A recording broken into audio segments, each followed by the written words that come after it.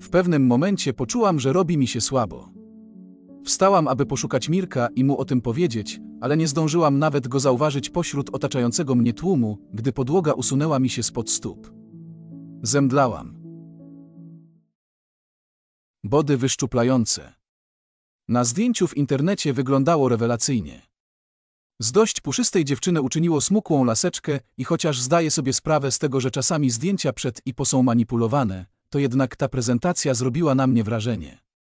Coś takiego by mi się przydało, pomyślałam od razu. Od dłuższego czasu walczę z nadprogramowymi kilogramami. Dwa lata temu znacznie przytyłam i w końcu postanowiłam wziąć się za siebie i zrzucić kilka, a może nawet kilkanaście kilogramów. Dieta, którą sobie narzuciłam, zaczęła działać. Chudłam powoli, a wraz z każdym zrzuconym kilogramem rosła moja wiara, że to się może udać.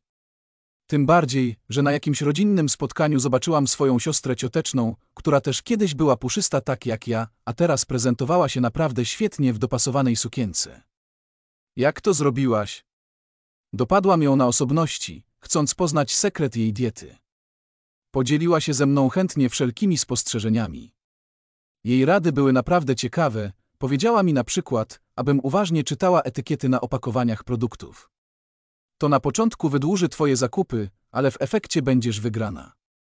Nawet nie wiesz, ile producenci potrafią dosypywać cukru do wszystkiego, chociażby do zwykłego groszku. Do groszku? Zdziwiłam się. Do tej pory właśnie między innymi groszek uważałam za bezpieczną przekąskę. Był wygodny w użyciu, bo wystarczyło tylko zabrać do pracy puszkę, a potem ją otworzyć i odsączyć. Ale Beata miała rację, znalezienie firmy, która by nie słodziła groszku w puszce, zajęło mi trochę czasu. No coś podobnego, byłam naprawdę pod wrażeniem. Od tej pory na każdym rodzinnym spotkaniu kręciłam się koło Beaty, licząc na kolejne dobre rady. Cieszyło mnie także to, że widzi moje postępy i potrafi mi pogratulować zrzuconych kilogramów. Kiedy ja będę wreszcie mogła włożyć taką seksowną sukienkę? Westchnęłam przy ostatnim spotkaniu z Beatą. Moja siostra cioteczna miała bowiem na sobie najmodniejszą suknię tubę, w dwóch kolorach, białym i czarnym. Ona wcale nie jest w takim małym rozmiarze, uśmiechnęła się Beata, te pionowe cięcią i połączenie kontrastowych kolorów wyszczuplają optycznie. A poza tym, moim zdaniem jesteś na najlepszej drodze do tego, aby wkrótce włożyć taką samą, bo widzę, że nie brakuje ci wytrwałości. Pochlebiała mi jej uwaga. Kiedy kilka tygodni później zobaczyłam w sklepie sukienkę bardzo podobną do tej, którą miała wtedy na sobie Beata, kupiłam ją bez wahania. Niestety, była na mnie odrobinę za mała. To nawet lepiej, pomyślałam, będę miała motywację, aby do niej schudnąć. Postawiłam sobie za punkt honoru, żeby się do niej zmieścić. Będę wyglądała rewelacyjnie, marzyłam, dobierając sobie w myślach do sukienki odpowiednie buty i fryzurę. Strasznie mi zależało na tym, aby dobrze wypaść, bo to miało być pierwsze moje oficjalne wyjście z Mirkiem, moim nowym chłopakiem. Byłam w nim strasznie zakochana. Poznaliśmy się w autobusie, do którego wpadł w ostatniej chwili, tuż przed zamknięciem drzwi i od razu zapytał, czy ktoś może ma do sprzedania bilet. Pasażerowie popatrzyli po sobie, w końcu jeden z nich poradził mu, aby kupił bilet u kierowcy. Ale autobus już ruszył, a Mirek wsiadł ostatnimi drzwiami. Zanim by się przepchnął przez ten tłum. Ja mam bilet, odezwałam się nieśmiało. Był mi wdzięczny, że go podratowałam. Zamieniliśmy kilka słów, między innymi na temat paskudnej pogody. Mirek podobał mi się, ale nie liczyłam na to, że mam u niego jakiekolwiek szanse. Taki fajny chłopak na pewno nie zainteresuje się mną, myślałam. Ucieszyłam się jednak, kiedy okazało się, że wysiadamy na tym samym przystanku. Sądziłam, że może pracujemy w sąsiednich budynkach, takiej zresztą wersji trzymał się Mirek. Dopiero potem, kiedy już dostał mój numer telefonu, przyznał mi się, że wysiadł trzy przystanki wcześniej. Ojej, to spóźnisz się do pracy, wykrzyknęłam. Wiem, ale było warto, uśmiechnął się i obrzucił mnie takim spojrzeniem, że aż ciarki mnie przeszły po plecach. No i tak to się zaczęło. Chodziliśmy ze sobą już od kilku tygodni i naprawdę szalenie mi zależało na tym, aby dobrze wypaść przed znajomymi Mirka, a właśnie na imprezie miałam większość z nich poznać. Codzienne przymierzanie mojej nowej sukienki i sprawdzanie, czy już na mnie pasuje, stało się teraz moim zwyczajem. Z przykrością musiałam jednak za każdym razem przyznać, że daleko mi jeszcze do ideału. Tu i ówdzie widoczne były fałdki, których za nic nie dało się ukryć. Im bliżej była godzina zero, tym większa ogarniała mnie panika.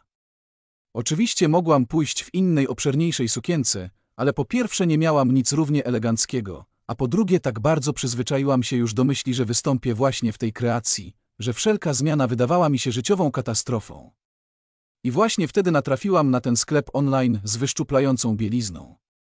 Do tej pory nie myślałam o takim rozwiązaniu, ale teraz zaczęłam się poważnie zastanawiać, właściwie dlaczego nie? Oczywiście, odpowiedź była prosta, nie chciałabym, aby Mirek widział mnie w czymś takim, kiedy zacznie mnie rozbierać. To by było dla mnie wysoce krępujące. Ale zaraz pomyślałam sobie także, że przecież w Sylwestra zabawa będzie trwała do białego rana i jeśli nawet potem pojedziemy razem do mnie, to zdążę się dyskretnie pozbyć w łazience wyszczuplających majtek. A może raczej powinnam je nazwać body? Było to bowiem coś w rodzaju rozbudowanych majtasów, nogawki sięgały prawie do kolan wyszczuplając uda, a góra majtek podchodziła aż pod biust. Producent obiecywał, że dzięki temu unoszą go do góry wysmuklając całą sylwetkę. Moja sukienka w kształcie tuby miała długość za kolano, założyłam więc, że wszystko powinno być w porządku i jeśli tylko będę siadała uważnie, szczególnie zakładając nogę na nogę, to nogawki majtek nie będą widoczne. Na szczęście kurier zawitał u mnie na dwa dni przed imprezą. Miałam więc czas, aby poprzymierzać majtki. No cóż, wprawdzie faktycznie trzymały mnie niczym pancerz, ale efekt był za to rewelacyjny. Najwyżej nie będę za dużo jadła. I tak zresztą nie zamierzałam, jestem przecież na diecie, stwierdziłam zadowolona. A już prawdziwą nagrodą za moje poświęcenie była mina Mirka, kiedy mnie zobaczył wystrojoną w nową sukienkę. Ludzie, ta laska to moja dziewczyna, wykrzyknął zachwycony, okręcając mnie dookoła. Zapowiadała się naprawdę gorąca noc. I była gorąca, przyjaciel Mirka zaprosił bowiem do swojego niewielkiego, mieszkanka chyba z pół miasta. W dwóch pokojach i mikroskopijnej kuchni kłębił się tłum i nie było mowy o tańcach. Czułam się tym trochę rozczarowana. Rozważałam nawet, czy nie namówić Mirka na zmianę lokalu, ale pomyślałam sobie, że jego przyjaciele mogliby poczuć się urażeni moim zachowaniem, a tego nie chciałam. Dałam więc sobie spokój i starałam się mimo wszystko dobrze bawić w tych warunkach. Było mi jednak trudno, bo robiło się coraz duszniej. Mogłam wprawdzie wyjść na balkon, ale tam z kolei było zimno, a ja się łatwo przeziębiam. I tak źle, i tak niedobrze, myślałam, sącząc kolejny kieliszek wina. O to, że nie będę w stanie niczego zjeść w swoim body nie musiałam się nawet martwić, bo i tak nie było nic do jedzenia. Wszelkie przekąski, jakie zrobili gospodarze, zniknęły jak sen złoty zaraz na początku zabawy, podobnie jak sałatka, którą przyniosłam w ramach składkowego. Najwyraźniej niewiele osób poczuło się do takiego obowiązku uznając, że wystarczy zapewnić alkohol. Tego akurat nie brakowało. I pewnie dlatego jeszcze przed północą zaczęło mi się kręcić w głowie. Muszę przystopować z piciem na pusty żołądek, postanowiłam, ale mimo to przed oczami zaczęły mi latać mroczki. Usiadłam więc sobie w kąciku na kanapie, usiłując dojść do siebie. Było mi duszno i gorąco. W pewnym momencie poczułam, że robi mi się słabo. Wstałam, aby poszukać Mirka i mu o tym powiedzieć, ale nie zdążyłam nawet go zauważyć pośród otaczającego mnie tłumu, gdy podłoga usunęła mi się spod stóp. Zemdlałam. Oczywiście, gdy runęłam jak długa na wykładzinę, tłum rzucił się, aby mnie ratować. Ktoś radził, aby położyć mnie przy oknie, ktoś inny usiłował rozpiąć mi zamek sukienki, żebym mogła swobodniej oddychać. I wtedy właśnie wszystkim ukazał się mój wyszczuplający pancerz. Te wydarzenia znam z opowieści Mirka. Dowiedziałam się także od niego, że to dziewczyna jego przyjaciela wpadła na pomysł, jak mnie uwolnić z duszącej mnie zbroi. Po prostu wzięła nożyczki i ciachnęła majty wzdłuż brzucha. Do moich płuc natychmiast wpłynęło świeże powietrze i ocknęłam się w mocno niekomfortowej pozycji, czyli z wywalonymi na widok publiczny wałkami. Wtedy zrozumiałam, co to znaczy spalić się ze wstydu. Kiedy zorientowałam się, co się dzieje, poczułam, że znowu zemdleję. Mirek, widząc moje zmieszanie, pomógł mi obciągnąć sukienkę, co było chyba jeszcze gorsze i bardziej żenujące. Nie wiedziałam, co mam powiedzieć i jak spojrzeć mu w oczy. Czułam bowiem na sobie ironiczne spojrzenia wielu ludzi. A przynajmniej wydawało mi się, że wszyscy tak na mnie patrzą. Ktoś mi podał wodę, ale nie umiałam przełknąć ani kropelki ze zdenerwowania. Chodźmy do domu. Wystękałam błagalnie, Nie mając pojęcia, czy po takiej kompromitacji Mirek jeszcze w ogóle będzie chciał się ze mną zadawać i czy nie wrócę do tego domu sama. Nie ma mowy, zaprotestowała w tym momencie dziewczyna jego przyjaciela, musisz najpierw odpocząć. Po czym bezceremonialnie wyprosiła wszystkich ludzi z mniejszego pokoju sypialni i kazała mi się tam położyć. Sama nie wiem, dlaczego się jej poddałam, zamiast uciec stamtąd, gdzie pieprz rośnie. Kiedy wyszła, skupiłam się na tym, żeby przeprosić Mirka, który ze mną został.